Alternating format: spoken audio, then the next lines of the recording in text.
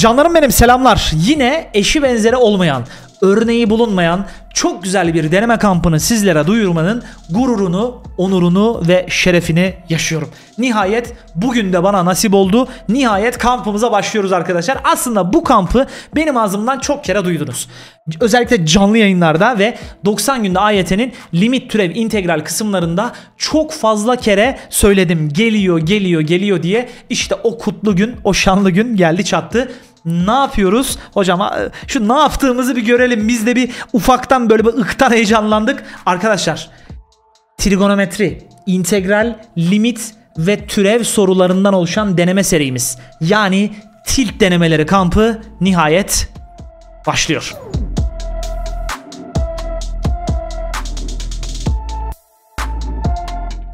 Evet ben bu kampa niye bu kadar yükseldim? Ben bu denemeye niye bu kadar yükseldim? Çünkü ben böyle özel, spesifik örneği daha önce bulunmayan böyle temiz çalışmaların hastasıyım. Gerçekten bunu başta projelendirirken de şöyle düşündük. Dedik ki ya ÖSYM'nin AYT matematikte en seçici soru sorduğu ve en çok soru sorduğu yerler belli. Neler onlar? Limit, türev, integral, trigonometri. Bu konu grubundan toplamda 14-15 tane soru çıkıyor. Dolayısıyla sadece bu konuların sorularını barındıran ama öyle sıradan sorular da değil.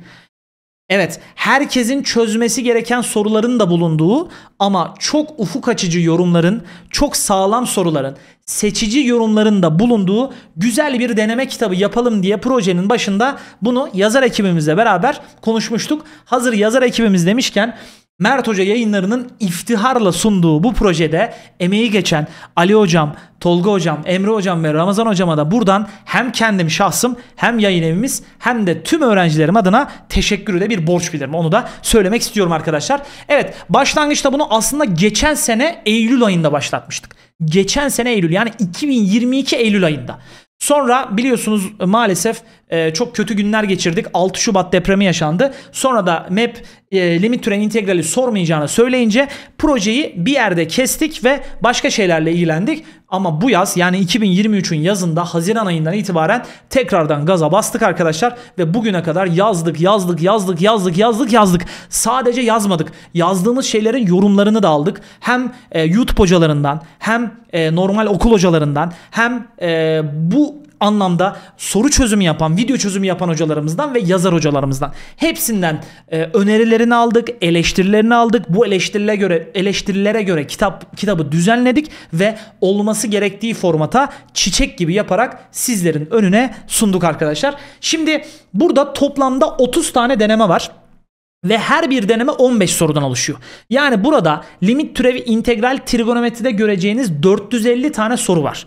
Bu 450 tane soruyu en ince ayrıntılarına kadar sadece çözüm yaparak değil aynı zamanda konuları hatırlatıp bir konu tekrarı yaparak sizlere çözeceğim arkadaşlar. Bundan şüpheniz olmasın. Ama öncelikle şu isme bir gelelim. Ben isimlere biliyorsunuz ki takığım. Niye bu denemenin adı acaba tilt oldu? Tilt olmak, tilt etmek. Ben bunu argoda sanırım bu kelime. Ee, ben bunu çok fazla günlük hayatımda kullanıyorum. Ya bu, buna da tilt oldum. Ya bu da beni tilt etti falan gibi. İşte bizim AYT matematikte en çok tilt olduğumuz, bizi en fazla tilt eden soruları düşündüğümüz zaman bunlar şüphesiz limit türevi integral trigonometri. O zaman dedik ki bu denemenin adı da tilt denemeleri olsun ve bizi tilt eden şu soruları bir daha gün yüzüne çıkamayacak şekle nasıl getiririz? Bunun uğraşını sizlere bu kampın içerisinde vermeye çalışacağız arkadaşlar. Şimdi bunun içerisindeki soruların tamamı böyle aşırı seçici zor sorulardan falan oluşmuyor. Birazdan sizlere kitabın içeriğini, denemenin içeriğini sayfa sayfa soru soru deneme deneme gezdireceğim ve başlayacağınız ilerleteceğiniz, yürüteceğiniz kamptan %100 emin olmanızı istiyorum. Yani içerisinde sizi gayet yeteri kadar tatmin edecek içeriklerin bulunduğuna kendiniz de tatmin olun ki, ikna olun ki o zaman olabildiğince benim kadar motive bir şekilde bu kampa başlayın arkadaşlar. Ve e, 30 denemelik bu kampı başladığımız gibi öyle bir bitirelim ki bu dört tane konu AYT matematikte artık bizim için bir problem olmaktan çıksın. Kamp akışından ve içerisinde bazı sürprizlerden de size bahsedeceğim. Çok güzel bir kazanım tablomuz, zorluk seviyelerimiz e, ve size ayırdığımız çok güzel bölümler var. İşte beni de aslında motive eden kısımlar bunlar. Hani böyle dümdüz yazıp geçtiğimiz bir iş değil üzerinde böyle özelleştirilme bakımından size özgü olması bakımından hem bize hem de size özgü olması bakımından çok fazla dokunuşumuz var. Bunların hepsini de sizlere bahsetmeye çalışacağım. Şimdi ben bunların hepsini her gün bir deneme olacak şekilde kanala atacağım arkadaşlar 30 deneme. Ama önden gitmek isteyen arkadaşlarımız olur diye iki tip soru çözümü var burada. Bu arkadaki kare kodu okuttuğunuz zaman e, karşınıza açılan sayfada iki seçenek çıkıyor. Ya sizi Mert Hoca kampına götürüyor ya da bizim Mert Hoca yayınlarının YouTube kanalındaki video çözümlere götürüyor. O video çözümler başka hocalarımız tarafından yapıldı. İleriden gitmek isteyen ya da farklı yorum görmek isteyenler onları da izleyebilirler ama ben bütün denemeleri 450 soruyu tek tek tane tane size anlatacağım ve buradaki her yoruma hakim olmanızı sağlayacağım. Bu noktada hiçbir problem olmasın. Birazdan da dediğim gibi bütün hepsini size göstereceğim. Sadece şunu söyleyerek giriş yapmak istiyorum. Hocam bu hangi seviyede öğrencilere hitap ediyor? Yani ben acaba bu denemeyi çözmek için gerekli yeterliliğe sahip miyim? Bunu çok fazla soracaksınız. Soracağınızı biliyorum. Şimdi buna vereceğim cevap çok net. Eğer limit, türev, integral, trigonometri konularını bir kere sağlam şekilde mesela ben kendi kampımın çok 90 e, günde AYT'nin iyi bir şekilde bitirildiği için bu konular oradan örnek vermek istiyorum. 90 günde AYT'de bu konuları bir kez bitirdiysen artık bu kampı yapmaya hazırsın. Ama tabii ki bu kampı ilerletme anlamında da iki akışım var. Onlardan şimdi bahsetmek istiyorum. Birincisi şu. Ben bu denemeyi direkt deneme gibi çözeceğim diyen öğrencilerimiz. Yani alacağım. 15 soruyu çözeceğim. Çözdükten sonra cevap anahtarlarını kontrol edeceğim. Sonra yanlış yaptığım sorular, boş bıraktığım sorular bir de çözümünü merak ettiğim sorular. Yani doğru yaptığım ama nasıl doğru yaptığıma tam emin olmadığım. Bir kere de Mert Hoca'dan dinleyeyim, kafam rahat olsun, emin olayım dediğiniz soruları izleyerek bu şekilde ilerletebilirsiniz. Bu amaca gayet uygun ve güzel olur.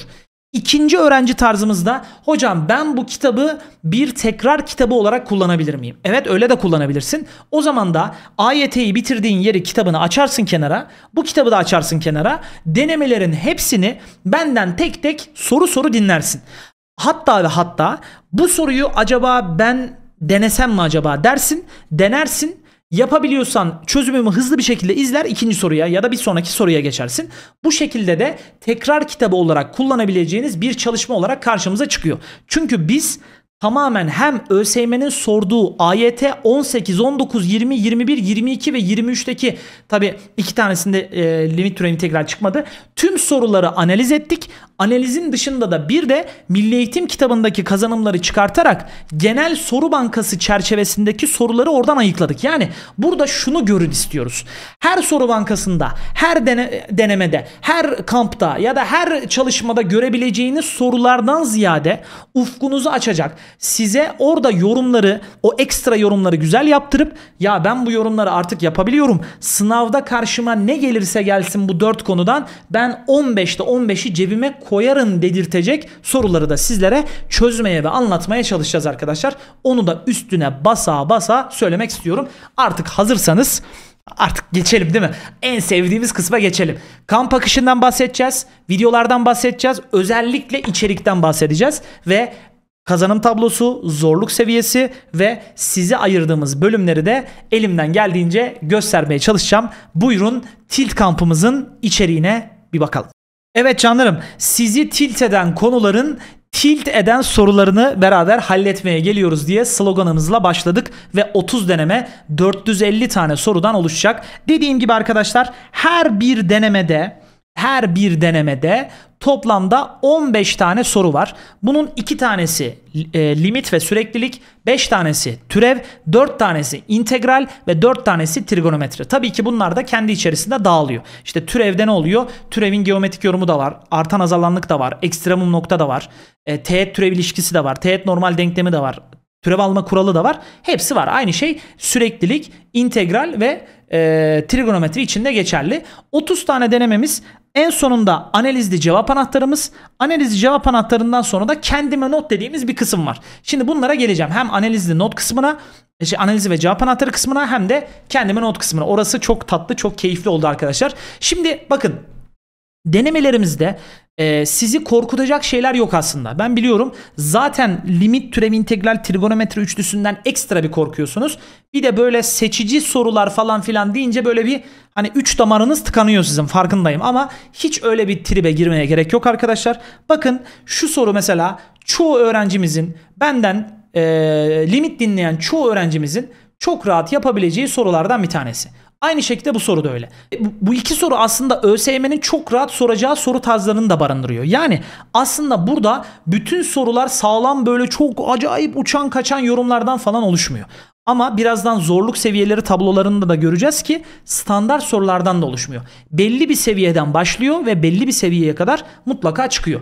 Bir de denemelerde kendi içerisinde bir akış olduğu gibi deneme sırasında da akış var. Yani kolaydan zora doğru ilerliyor. Birinci denemede böyle e, size böyle tek başınıza yapıp için içinden çıkabileceğiniz soru adetleri biraz fazla ama sonraki denemelerde özellikle 20'den sonra çarşı pazar birazcık karışıyor. Biz arkadaşlar her soruyu birden 5'e kadar seviyelen, seviyelendirdik. Birazdan seviye tablosunu da size göstereceğim.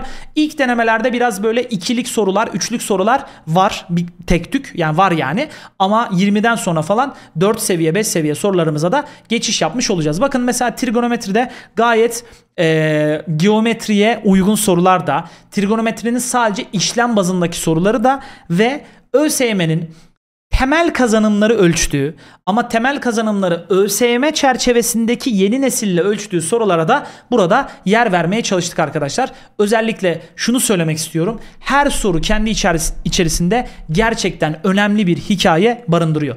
Ee, onun dışında şunu çok fazla söylüyordunuz.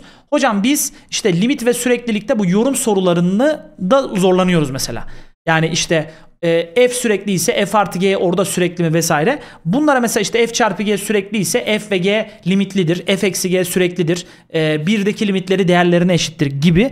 Bu süreklilik yorumlarını size yaptıracağımız sayısı soru var içerisinde. Mesela hocam ben türevin geometrik yorumu kısmında e, işte e, doğrudan analitik geometriden faydalandığımız sorularda zorlanıyorum diyorsanız babaları için, işin içerisinde var. Hocam ben işte integralde alan ve ikinci dereceden denklem eşitsizlik parabol konularının iç içe sorulduğu, köklerin möklerin sorulduğu sorularda zorlanıyorum diyorsan içinde istemediğin kadar bu kazanımlardan soru var. Hem dediğim gibi ÖSYM'nin seviyesi hem ÖSYM'nin seviyesinin üstünde birçok soruya yer verdik. Özellikle fonksiyon uygulamaları bakın AYT fonksiyon uygulamaları fonksiyonlarda ötelemeler, dönüşümler, x eksenine göre simetriler, y eksenine göre yansımalar bunların türev ve integral sorularında kullanıldığı, limit sorularında kullanıldığı sorulara da yer vermeye çalıştık. Ama baktığınız baktığınız zaman mesela 8. soruya işte 1 bölü x'e u diyorsunuz. Değişken değiştiriyorsunuz. işaretliyorsunuz. Böyle sorular da var arkadaşlar. Ama bunlar biraz ilk denemelerde var. Denemeler ilerledikçe içerisinde nitelikli sizin ufkunuzu açacak seçici dediğimiz çok yorum gerektiren soru sayısı gittikçe artarak ilerliyor. Onu da hani söylemek istiyorum ama bakın mesela işte EFG birebir örtense e, ve sürekli artansa süreklilik. Bak artanlıktan sürekliliğe giden bir yorum. Grafik çizeceğiz, e, istisnaları konuşacağız ve bunları dört konu içinde trigonometri, integral, limit ve türev için elimizden geldiği şekliyle güzel bir şekilde yapacağız arkadaşlar. Böyle e, kısa çözümleri olan yani ÖSYM'nin bazen sorduğu böyle net çözümü oluyor ama oradaki mantığı anlamak birazcık zaman alıyor. Böyle sorulara da mutlaka yer verdik. Çünkü biliyoruz ki biz ÖSYM AYT'de işlem sorularını sorduğu gibi işleme kısıtlı ama net yorum gerektiren soruları da soruyor. Biz hepsine elimizden geldiğince yer vermeye çalıştık arkadaşlar. Şu anda 7. denemedeyiz. Mesela çok güzel bir trigonometri ÖSYM sorusu. Koy ÖSYM'ye e, şey sorusu teorem sorusu gayet e, güzel bir şekilde işin içinden çıkarız. Geometrik yorum sorularında analitik geometrinin sorulduğu grafik içermeyen sadece sözel sorular sizin zorlandığınız sorular soru tarzlarından bir tanesi. Onlara da elimizden geldiğince yer vermeye çalıştık arkadaşlar. Şöyle aşağı doğru ineyim, aşağı doğru ineyim. Şunu da söylemek istiyorum. Böyle saçma sapan şekiller, hiç kullanılmayan şeyler çok ütopik sorular ya ÖSYM'nin aklına bile gelmeyecek egzantrik fantazi işler bunlara yer vermedik. Yani bir fantazi işine yer verdiysek o fantazi içerisinde çok fazla kazanım barındırıyordur.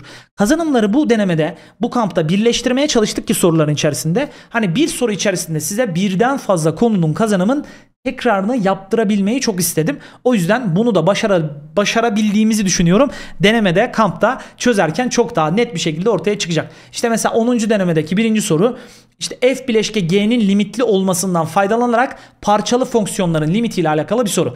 Aynı şey mesela 2'de de geçerli. Güzel bir soru. Mesela dördüncü soru yani çok güzel bir türev sorusu. Zor değil ama tam ÖSYM formatına uygun.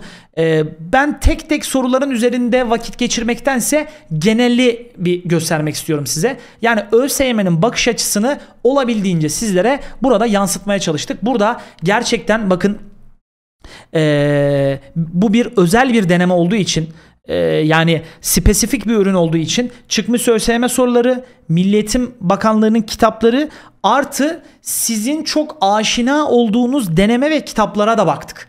Yani onları da tekrar etmemeye çalıştık. Hani genelde biraz böyle oluyor. Deneme süreçlerinde denemeler birbirlerini tekrar ediyor vesaire. Hayır biz olabildiğince sizin özgün sorular görmenizi, olabildiğince bundan sınav anlamında fayda sağlamanız. Yani soruyu çözdüğünüz zaman çözüp orada kalması değil. O sorudan mutlaka bir şeyler kazanabilmenizi sağlayacak sorulara yer vermeye çalıştık. Bunu e, çok önemsedik arkadaşlar. Gerçekten soruları çözerken ya da çözümlerini bizden izlerken sadece B şıkkını C şıkkını işaretlemek değil aynı zamanda konuların içerisinde tekrar yapmanız ya da hat, unuttuğunuz şeyleri hatırlamanız yönünde de çok fazla şeyi işin içerisine katmaya çalıştık. Ee, ben hepsini görün istiyorum. Yani şöyle göz gezdirin istiyorum hepsine. Çünkü hani göz gezdirme mesela ona neyi hocam neyine göz gezdireyim olun. Ama biz yaptığımız işin sonuna kadar arkasında olduğumuz için siz de içinize sine sine başlayın. Çünkü nasıl başlarsanız öyle devam edecek ve öyle bitecek. Bizim mottomuz, bizim amacımız bu kampın sonunda limit türev integralde tırnak ucu kadar, toplu iğne başı kadar e, bir eksiklik problem kalmaması.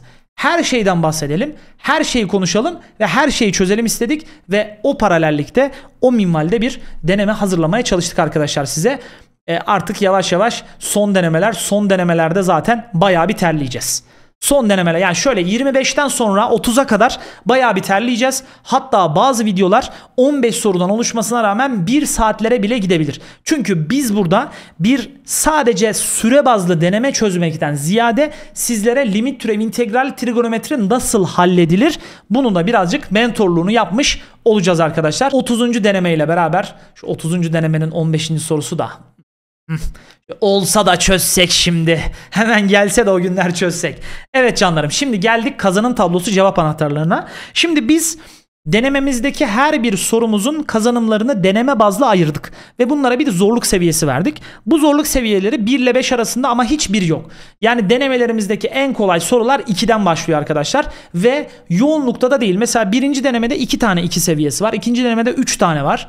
Ee, ama gördüğünüz gibi birinci denemede bir tane 5 var. Genel anlamda birinci deneme 2 e, 3'lerin biraz da 4'lerin ağırlığında gidiyor. 5 çok fazla yok. Denemeler ilerledikçe 2'ler yerini 3'lere, 3'ler yerini 4'lere, 4'ler yerini biraz 5'lere bırakacak. Yani 4 ve 5 sayısını birazcık arttıracağız. Mesela 4'e baktığımız zaman hiç kırmızı yok görüyor musunuz? Hiç 5'lik soru yok. Ama ikilik soru da çok az. Bu deneme mesela orta seviye. Seviyeyi buradan kendiniz de belirleyebilirsiniz diye anlatıyorum bunu. Biraz üçlük ve dörtlük arasında olmuş sanki deneme dördün soruları arkadaşlar. Deneme beşe baktığımız zaman işte ikilik iki tane sorumuz var. Ve özellikle burada kazanımlara ayırmamız da hangi soruyu doğru hangi soruyu yanlış yaptım nerede eksiğim var nerede eksiğim yok bunları da anlamanız için güzel olacak. İşte bir tabloda hem soru numarasını hem cevap anahtarlarını hem konu ve kazanımın ne olduğunu hem de bu soruların zorluk seviyelerini de görmüş olacaksınız yapacaksınız ve 30 denemeyi de buna uygun yaptık. Bakın denemeler ilerledikçe e, beşlikler artıyor. Özellikle 20'den sonra 5'lere görüyor musunuz? Bakın mesela 20. denemede 5 e, ve 4'ler çok fazla. İkilik bir tane soru var. Genelde 5 ve 4'lerden oluşuyor. 21, 22, 23 artık kırmızılar e, bayağı bir dümeni alıyor. E, şöyle baktığınız zaman mesela son 30. denemede ikilik hiç soru yok. Sorularımızın tamamı 3, 4 ve 5'lik soru seviyelerinde oluşmuş oluyor. Şimdi Kazanım tablosundan sonra da size güzel bir yer ayırmak istedim. Ee, ilk videonun başında söylediğim hani dedim ya iki tip öğrencimiz var. Bir tanesi deneme gibi çözsün. ikincisi konu tekrarı fasikül gibi çözsün. Deneme gibi çözen öğrencilerimizin işte ben bu denemede 9 soru yaptım doğru. 4 yanlış yaptım. 2 boş bıraktım. 8 netim var. Buraya da işte ben işte trigonometrik denklemlerde bir problem yaşıyorum. İşte türevin e, geometrik yorumunun şu teğet türev ilişkisiyle alakalı teğetten türeve geçme, türevden teğete geçip doğru denklemi yazmayla alakalı kısımlarında eksiğim var gibi kendinize not bırakabileceğiniz ve denemelerin değerlendirilmesini hem istatistiksel, netsel hem de konu bazında, kazanım bazında değerlendirmelerini yapabileceğiniz bir bölümü de sizlere ayırıp 30 denemelik bir kısmı da burada yer vermeye çalıştık arkadaşlar ve bu sayede de Tilt'in e, incelemesini de bitirmiş oluyorum. Yani mutlaka içinize sinsin. Bundan keyif almaya bakacaksanız şu üçüncü soru mesela çok güzel bir soru. Bu üçüncü sorudan keyif almaya bakacaksam buradaki birinci sorudan keyif almaya bakacaksam bunlar böyle bana Allah canımı alsın gibi değil de bunları gerçekten sınavda halletmek için bu masanın başına oturuyorsam o zaman bu denemeye sizi bekliyorum. Çünkü ben son yıllarda gözümden de bence anlıyorsunuzdur. Yani bu kadar yükseldiğim bir deneme bir e, kamp yok yani gerçekten. Bunun sebebi de hem olmayan yani yapılmayan bir işi yapmak için yola koyulmamız hem de bunu sizlere istediğimiz gibi tam anlamıyla hazırlayıp özelleştirebilmemizden kaynaklanıyor. İşte böyle spesifik sadece bize ve size özgü bizim aramızda etkileşimi bizim aramızda fazla yukarı çıkartan işlerin hastası oluyoruz. Yapacak bir şey yok. Deneme kampımız herkese hayırlı uğurlu olsun. Limit türevi integral trigonometriyi problem olmaktan çıkaracağımız bir süreç olsun bizlerle ve güzel başladığımız, sağlam başladığımız bu kampı sağlam bir şekilde bitirebilelim. Hepinizi çok ama çok seviyorum. Artık birinci denemede görüşmek üzere diyorum. Kendinize iyi bakın. Mert hocanızdan sizlere kucak dolusu sevgiler. Ben ve Tilt size selamlarımızı gönderiyoruz. Kendinize iyi bakın. Hoşçakalın. Görüşürüz.